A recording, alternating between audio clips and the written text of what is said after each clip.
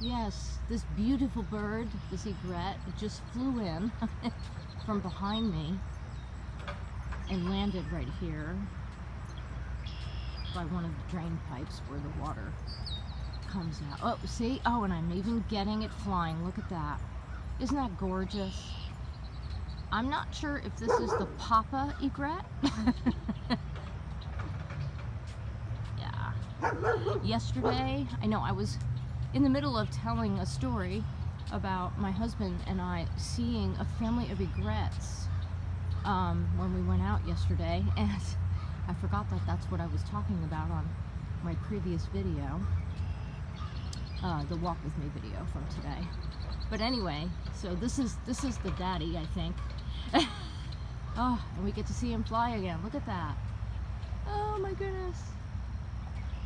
What delight absolute delight to see this gorgeous bird flying.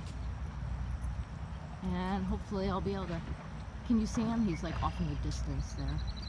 But he's down by the waterway now. Oh my goodness. So yesterday, my husband and I saw the whole family.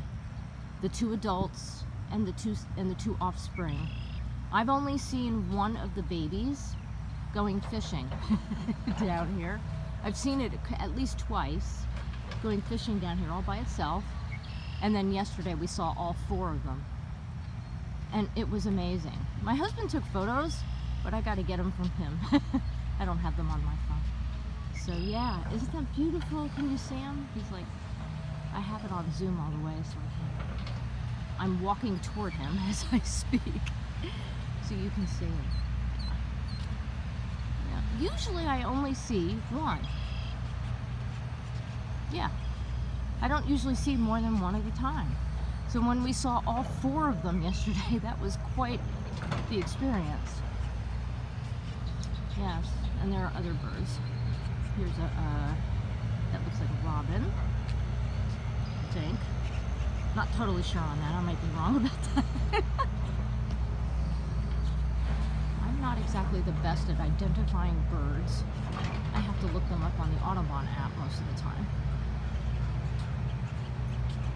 Yeah, he's still down there. Look at that. I'm trying to keep track of him here so you can see him too. Pretty cool, huh?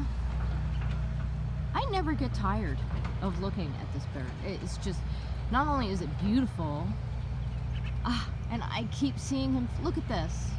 This is the third time now that we've caught him in flight.